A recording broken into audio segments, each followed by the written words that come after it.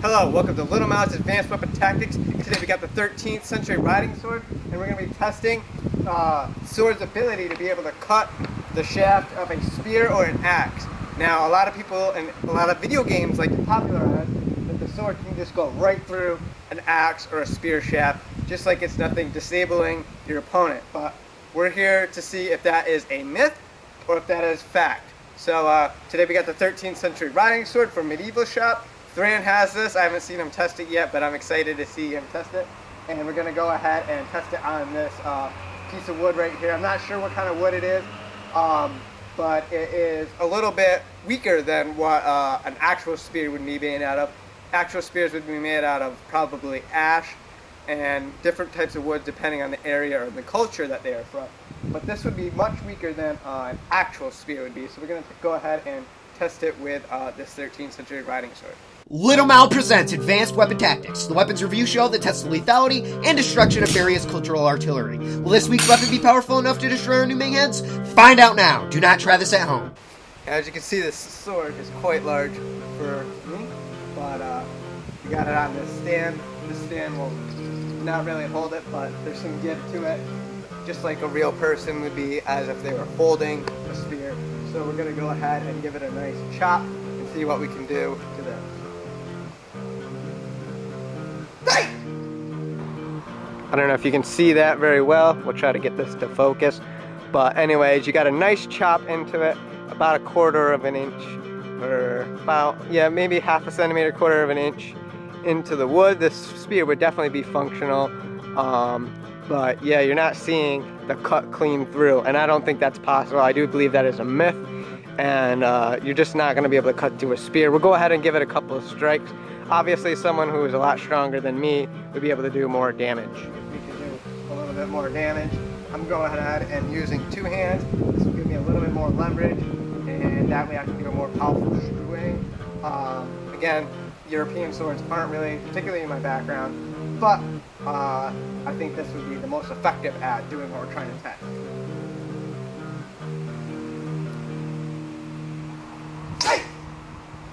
Here is the wound. It's about the same as this. It didn't go all the way through. It went about a quarter of an inch, uh, about a half a centimeter again, and uh, about the same as this.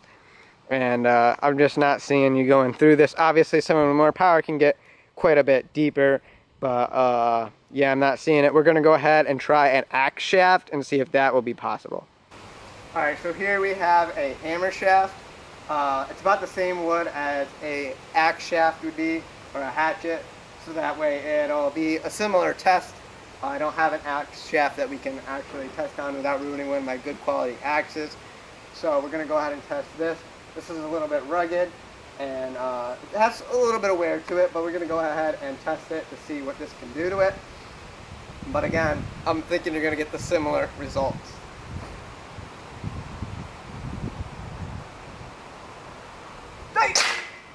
I'm just not seeing it. This is actually much thicker than a uh, than our uh, spear shaft, so obviously there's more mass to go through, and it's just not. This wood is actually probably a little bit uh, harder.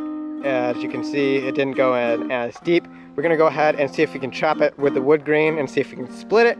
But I don't think that's that's probably the best option we're gonna have at uh, getting through it. But I don't know how far or what kind of damage that will do.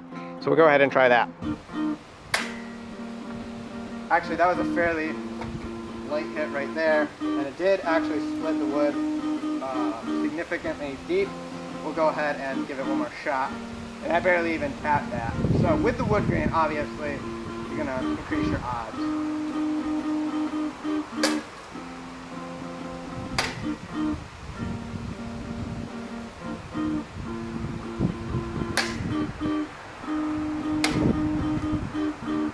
Yeah, obviously you could probably split this if you get it with a direct hit.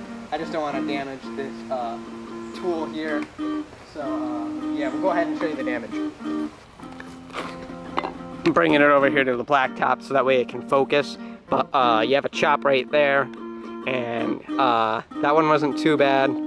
This one split down here, and then we had another one that went about three to four inches down the thing. Obviously, you could probably split the whole thing if you get it right on, I don't want to damage the tool, so um, you know we're not gonna you know go full force into it and miss and then hit our nice uh, table over there.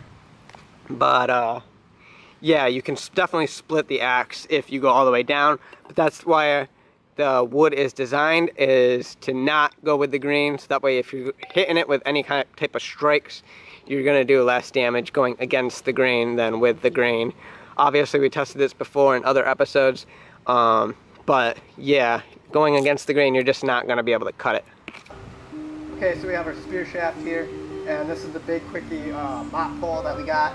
Uh, it's the cheapest wood I can find, so if we're gonna do any amount of damage uh, to it or be able to chop through it, it's going to be this.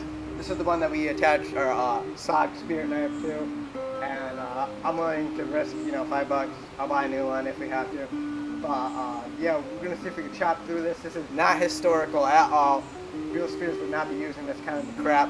But if there's anything that's gonna go through it, it's going to be probably this, just because it's like the cheapest wood. But uh, I don't even know if we're gonna be able to get through that, to be honest. So we're gonna go ahead and give it a shot.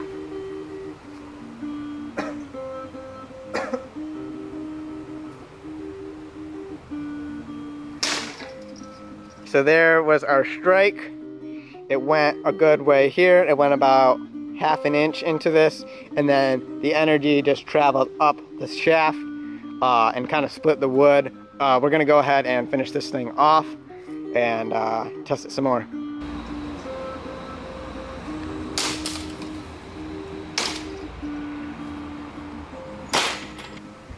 Okay, so it did go through the clean big quickie. Uh, obviously, this is not historical, and this is very, very cheap wood.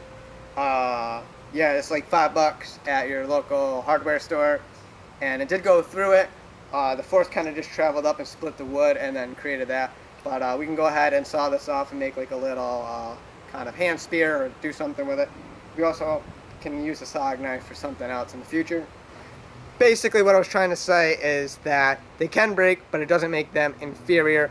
Um, anything can break in a war situation. So, uh, yeah, I don't think that because they're made out of wood that that makes them inferior. Yes, they can break, but so can your sword and your armor as well. So, uh, it definitely depends on the battle, but I don't think that makes it inferior. And you're not just going to chop it like in video games where you just chop right through the, the spear, the axe it's just not gonna happen. So uh, that's just what I wanted to point out.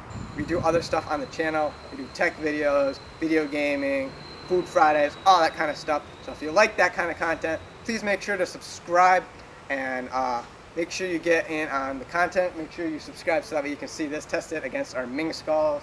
And uh, yeah, make sure to subscribe because we're going to keep making videos. And if you have suggestions on things that you'd like to be tested, just let us know in the comments below and we can do that for you and try to accommodate you if uh, the price is right. So uh, thank you for watching and see you on the next one.